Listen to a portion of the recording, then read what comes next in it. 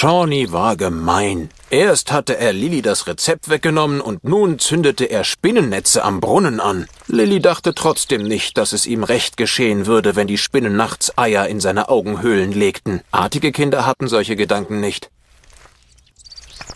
Ähm, Uh, wer kommt denn da und will sein Rezept zurück? Wenn das nicht die kleine, brave Lilly ist. Hau ab, bevor ich dir noch die Schnürsenkel zusammenknote. Oder Schlimmeres. Ach, du willst das Rezept wirklich zurück, oder? aha. Na, das wusste ich doch nicht. Warte nur kurz, bis ich es in Geschenkpapier eingewickelt habe.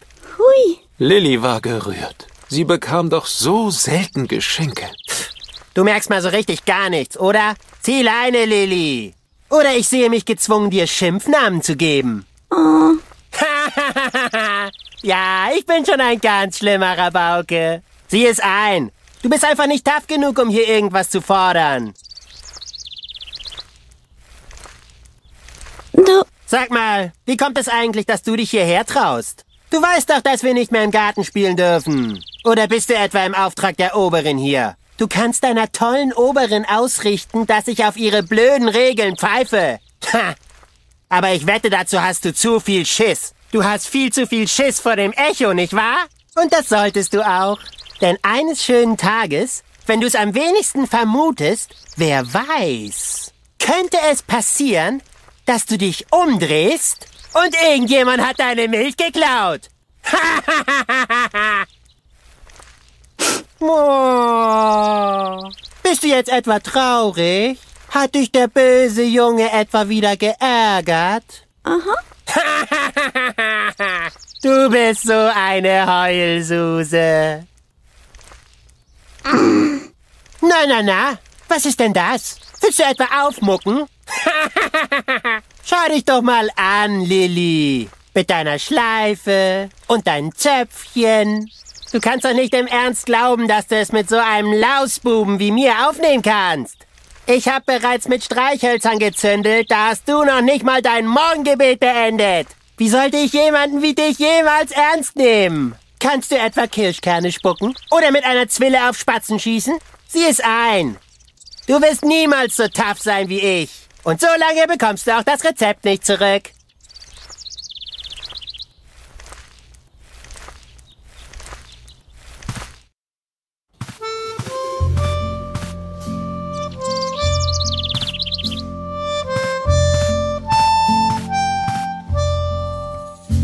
Hi, wie lustig der vollkommen intakte Sprengkopf der Fliegerbombe blinkte.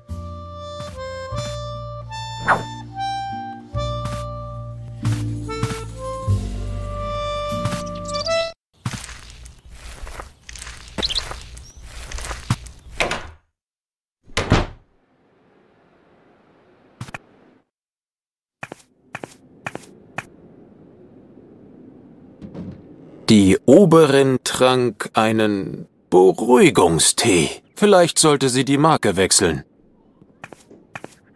Was schleichst du hier rum? Fütter die Katze. Oder bist du damit etwa schon fertig? Äh, Nein. Dachte ich's mir doch. Langsam vergeht mir die Lust, euch Ki Ki Kinder ständig an die richtigen Werte zu erinnern. Schau dir doch einfach die Stickerei dort an der Wand an. Dort sind alle wichtigen Tugenden abgebildet. Überlegenheit, Stärke und Selbstbeherrschung. ähm, Ich weiß selbst, dass Selbstbeherrschung fehlt. Da denkst du, ich bin blind?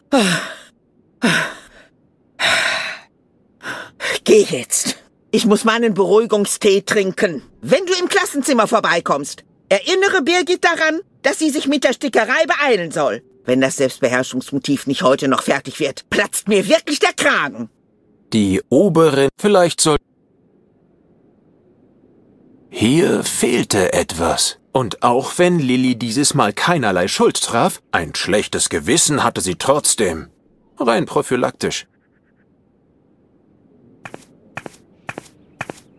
Lilly mochte Doris und das beruhte auf Gegenseitigkeit. Was starrst du mich so an, du kleine Mistgürre? Sie hatte zwar eine raue Schale, dafür aber einen weichen Kern. Wenn du weiter so starrst, dreh ich dir eigenhändig den Hals um. Immerhin mochte sie Kinder. Oh, ich hasse euch Kinder. Ich wünschte, ihr würdet alle an Pocken sterben. Neben Edna war Doris Lillys beste Freundin. Ähm, Was war das? äh, Du frecher Mistkäfer! Ich kann es nicht ausstehen, wenn hinter meinem Rücken über mich getuschelt wird. Die Jugend von heute wird auch immer dreister. Das kommt von dieser ganzen Gewalt- und Fäkalsprache in den Medien. Wenn ich könnte, würde ich euch einem nach dem anderen den Kopf abdrehen. Na, wo sind nur meine Einweggläser? Ich brauche etwas, um meine Finger zu beruhigen. Sonst passiert hier noch ein Unglück. du, Bevor du wieder nach Essen fragst. Es ist jetzt schon Stunden her, dass meine Finger ein Einwegglas in der Hand hatten. In dieser Phase werden meine Hände immer leicht nervös. Sie knacken alles, was ihnen in die Finger kommt. Kinderbeinchen, Kinderärmchen. Ich habe sie einfach nicht unter Kontrolle. Ähm, Ach, jetzt verstehe ich. Du bist gekommen, um dich über das Essen zu beschweren, richtig? Tja, da habe ich eine schlechte Nachricht für dich. Für Kinder gibt es ausschließlich Essen aus Einweggläsern und dabei bleibt es. Meine Hände sind auf diese Bewegung trainiert. Ich habe nicht umsonst 20 Jahre lang Hühnern in einer Legebatterie den Hals umgedreht. Außerdem bin ich per Gerichtsbeschluss verpflichtet, 10 Gläser am Tag zu öffnen. Bedank dich bei meinem idiotischen Anwalt.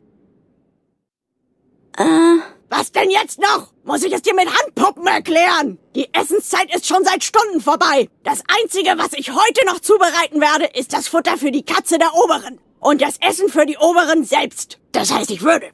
Aber mein Messer ist verschwunden. Außerdem ist der Ofen im Keller mal wieder ausgegangen. Ich könnte also eh nichts kochen. Das Wichtigste ist allerdings, dass mir die Oberin noch ein Rezept zukommen lassen wollte. Du hast es nicht zufällig dabei, oder? Gib dir keine Mühe. Ohne ein Messer werde ich das Essen sowieso nicht zubereiten können. Ah, wenn ich das Kind erwische, das mein Messer geklaut hat, das wird sich wundern, was man damit alles anstellen kann. Ähm. Na, vergiss das Rezept einfach.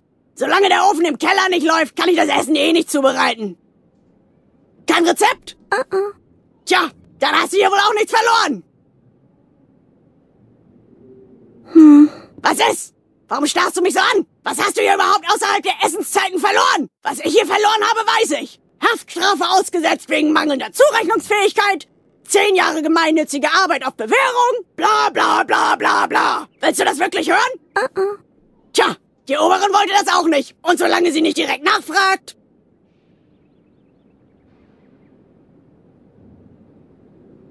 Edna hatte immer ein paar gute Witze über Bananen parat. Aber da Lilly ein braves Kind war, hatte sie keinen davon verstanden.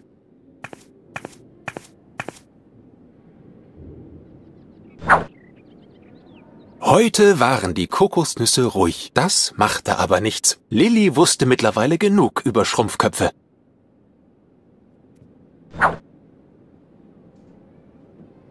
Lilly mochte Äpfel. Sie waren gesund und gelegentlich fand man einen Wurm. Die hörten wenigstens zu, wenn man mit ihnen sprach.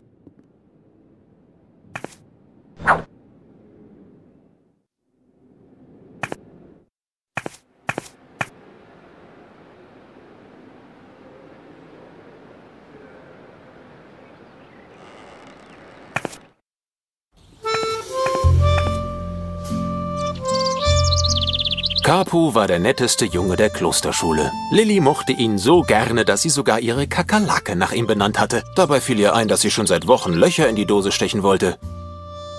Ähm, Lilly, schön dich zu sehen. Ich hoffe, du ärgerst dich nicht zu sehr über Shawnee. Er ist ein Idiot. Ich finde dich toll, genauso wie du bist. Lillys Herz machte einen großen Hüpfer. Das war vielleicht das Netteste, was jemals irgendwer zu ihr gesagt hatte.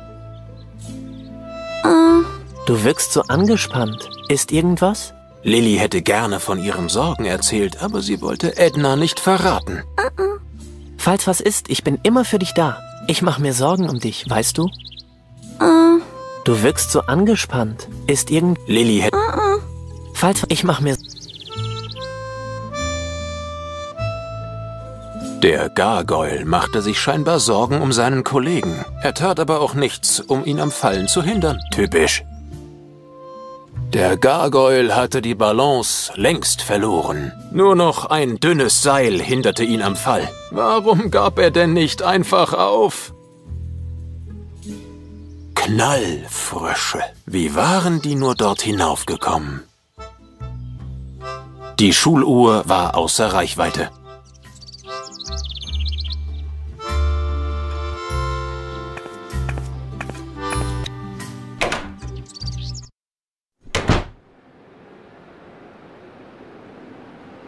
Noch eine Schatzkiste. Heute war der wahrscheinlich glücklichste Tag in Lillys Leben. Gleich nach dem Tag, an dem sie keinen Rhabarber essen musste, weil ihr ein Zahn abgebrochen war. Hey, lass die Finger davon. Das ist meine alte Pfadfinderausrüstung. Da lasse ich nur ausgewiesene Pfadfinder ran. Lilly hatte sich eine Muskete zum letzten Nikolaus gewünscht. Stattdessen hatte sie Muskat bekommen, das vom Lebkuchen gefallen war. Hey, lass die Finger davon. Das ist meine Al Ich mag, ich kann dir Geschichten erzählen. Da schlackerst du mit den ähm, Ohren. Einige davon haben mit meiner alten Pfadfinderausrüstung zu tun. Aber ich lasse nur ausgewiesene Pfadfinder ran. Also lass die Finger. Die, die, Finger.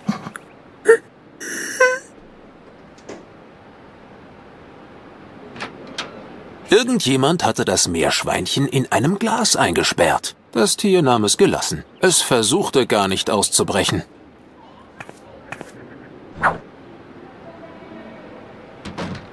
In dem Regal gab es drei leere Sockel. Das konnte etwas bedeuten.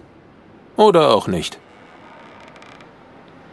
Nanu, das war ja gar nicht das Skelett aus dem Biologieunterricht. Das war nur wieder dieser alte Mann aus dem Geschichtsunterricht. Ähm, Oh, Besuch. Was für ein seltenes, seltenes, seltenes Tier. Der Habicht. Aber ich meine nicht das Remake. Ich meine das Original mit, mit extra viel Ketchup, bitte. Ah, Wie ähm, unhöflich von mir. Ich vergaß mich vor, äh, vorzustellen, wie es damals war. Beim Bau der Pyramiden. Ich war Chefauspeitscher an der äh, Nordseite. Ja, ja, ich habe in meinem Leben so einiges, ähm, einiges Tibet, rief ich. Unter drei verschiedenen Dalai Lamas habe ich damals als Teppichklopfer gedient. Bei einem war ich sogar als Wiedergeburtshelfer im Kreissaal dabei. Nicht so wie in dem Jahr, in dem ich Innenausstatter bei den Mayas war. Hier ein mystisches Schieberätsel zimmern, da einige Artefakte in dunklen Nischen verstecken. Oh ja, ich habe schon geheime Grabkammern versteckt. Da hast du noch in die, äh, in die Rockband mit dem Namen Inquisition Overload.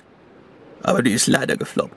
Die Zeit war einfach noch nicht reif für diese Art von Musik und unser Schlagzeuger hatte die Pest. Ja, ich bin alt geworden. So alt, dass ich selbst nur noch als Anschauungsobjekt für den Geschichtsunter... Äh, unter... unter... Äh, dazu komme ich doch gleich. Erst wollte ich noch erzählen... Erzählen können will halt gelernt sein. Darum habe ich auch eine Zeit lang als Anschauungsobjekt für den Geschichtsunterricht in einer Klosterschule gearbeitet. Ich musste nur einmal in der Woche von meinen Abenteuern erzählen. Zum Beispiel, wie ich zusammen mit den Tempelrittern geheime Grabkammern unter der Schulkapelle ausgehoben habe. Oder von meiner Zeit als Beleuchtungsassistent bei der Mondlandung. Hm? Äh, wa- wa- was? Oh, oh, ich, muss kurz eingenickt sein. Dabei wollte ich doch gerade diese spannende Geschichte aus meinem Leben erzählen. War es die Geschichte, wie ich bei dem Versuch, den Seeweg nach Kapstadt zu finden, den eurasischen Kontinent entdeckt habe? Ach, äh, ich weiß. Ich wollte dir erzählen, wie ich den Tempelrittern beim Bau der Klosterkapelle geholfen habe. Äh, richtig? Aha. Ich war besonders fröhlich, weil ich eine Banane gegessen hatte. Ähm, oder war ich traurig, weil es wieder nur Kokosnuss gab? Äh, Nein, äh, die Kokosnuss war damals, als ich für meinen Heldenmut vom trojanischen Bürgermeister den Schlüssel zur Stadt bekommen habe. Oder war der Heldenmut bei den Deicharbeiten in Atlantis? Da hatte ich aber einen Apfel dabei, glaube ich. Aber war ich nicht eher schläfrig in Atlantis? Und, und ähm, äh, wütend beim Kapellenbau? Na, so ein Kokolores. Ich bringe ja alles durcheinander. Zum Glück habe ich mir extra für diese Anekdote eine Gedächtnisstütze gebaut, damit ich mich an die Position der geheimen Grabkammern unter der Klosterkapelle erinnere. Oh oh, irgendwer hat das Regal aufgeräumt. Da müssten normalerweise Hinweise auf die drei E liegen. Emotion, Einstellung und Essen. Äh, So kann ich mich nicht, ähm, äh, mich nicht zum Affen machen. Also mal sehen. Nein, nein, keine Sorge. Ich habe deine Frage von vorhin nicht vergessen. Im Gegenteil. Ich bin dafür bekannt, mich immer an alles zu erinnern. Das verdanke ich einem kleinen Trick, den ich damals von einem alten chinesischen Maurer gelernt habe. Alles, was ich brauche, ist eine Gedächtnisstütze. Also Objekte, die mich an die drei E erinnern. Das erste E steht für Emotion. Es zeigt mir, ob ich in der Situation traurig, fröhlich oder wütend war. Das zweite E steht für Einstellung. Es erinnert mich daran, ob ich die Situation durch Stärke, Heldenmut oder Schläfrigkeit überwunden habe. Das dritte E steht für Essen. Um mich zu erinnern, muss ich wissen, welches Obst ich an dem Tag gegessen habe. Die Vitamine sind gut für die... für die... äh,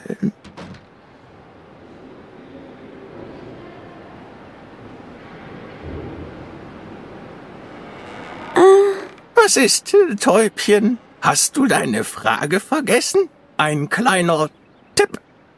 Versuch dich einfach an die drei E zu erinnern. Das erste E steht für Emotion. Es zeigt mir, ob ich in der Situation traurig, fröhlich oder wütend war. Das zweite E steht für Einstellung.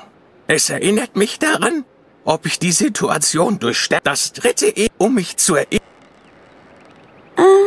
Habe ich dir schon von meiner Gedächtnisstütze erzählt? Ich glaube nicht. Alles, was ich brauche, sind drei Objekte. Genauer gesagt, beantwortet das. Ha! Ich weiß genau, worauf du hinaus willst. Eine lehrreiche Geschichte über meine Zeit bei den Tempelrittern. Leider fehlen mir noch wichtige Komponenten für meine Erinnerungsstütze. Wüsste ich doch nur, was die drei E's dieser Geschichte waren. Aber ich habe nur noch ein paar vage Sinnzusammenhänge parat. Vier, um genau zu sein. Wie jeder weiß, erzeugt jedes Essen genau eine Emotion und fördert eine Eigenschaft.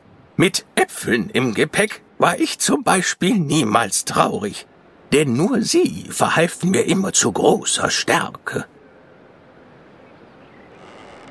Heroische Taten konnte ich immer nur an Tagen vollbringen, an denen ich nicht traurig war. Mit Wut im Bauch konnte ich hingegen nie große Stärke beweisen.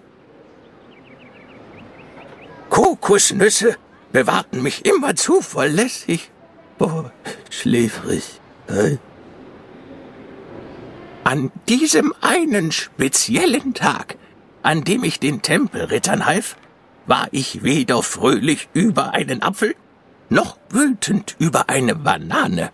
Ich war aber auch nicht traurig über eine Banane oder fröhlich wegen einer Kokosnuss.